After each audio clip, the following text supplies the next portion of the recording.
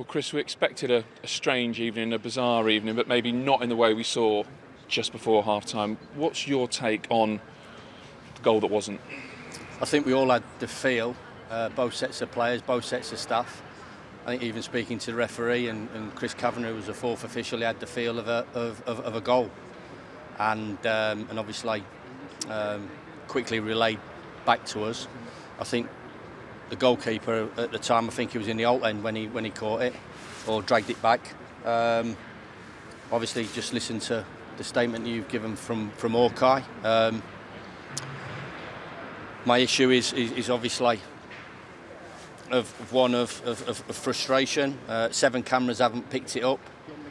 Uh, the most uh, technical league in the world. Uh, video analysis, ProZone, and everything that we see at every angle, and it hasn't seen uh, a goal. And um, that's disappointing from our point of view. You know, we went to, to Tottenham last year, and I suppose it's nothing really to do with the, the timing of it. You know, John Lundstram's big toe was offside, and I'm, I'm, I'm hanging around at White Hart Lane uh, in the pouring rain for 10 minutes waiting for a decision. Um, so I don't really understand why I, couldn't have waited around for another 10 minutes in Birmingham when it was raining for another decision. But uh, statements come out, unprecedented as they talk about, unbelievable.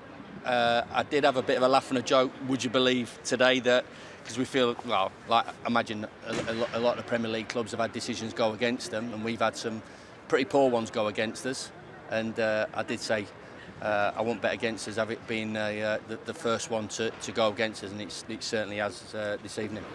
Do you accept the reasons given the technology just hasn't worked or are you looking at that it seems like a hint of what you're saying is why isn't a human intervened why isn't VAR got involved? Is it that clear? Well, that's what I've said. You know, um, uh, that's the balance, isn't it? We were wait, we were waiting for somebody. I don't know who, who it was at, at Stockley Park to to show show a bit of courage and stick the chest out and say, well, I'll make that decision. Um, but if they're saying that they've not seen it and seven cameras haven't seen it, then I suppose he's going to say he can't make that decision. Uh, but uh, I've always said, um, you know, the balance. I, am uh, in a way, 45,000 people in here. That would have been pretty difficult to take for, well, possibly 5,000 of our supporters if, uh, if that was disallowed. But um, there it is, unprecedented, seven cameras.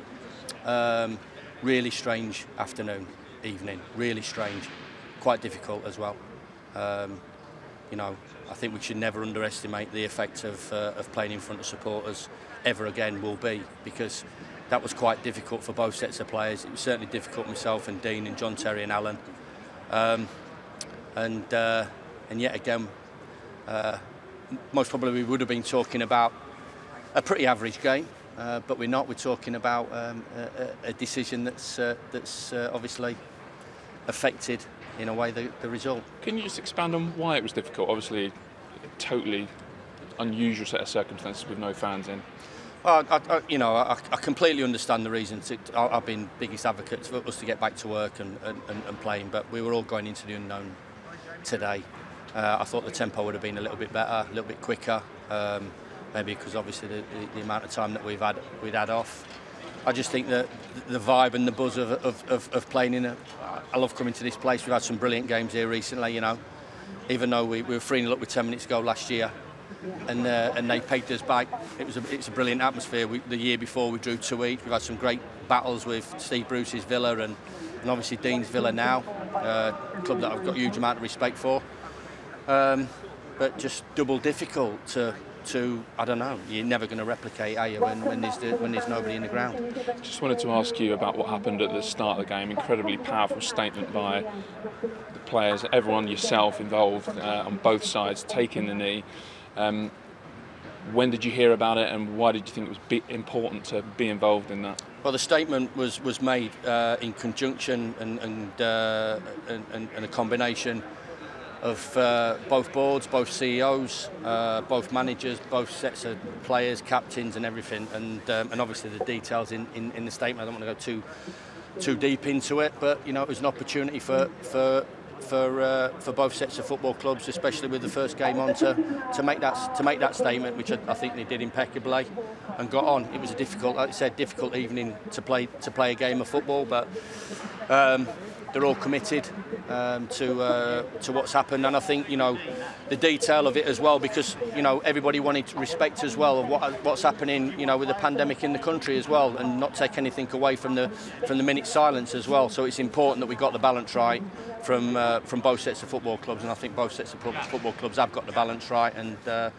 and hopefully now, you know, from from our point of view, um, it's um, we've made we've we've both made that statement.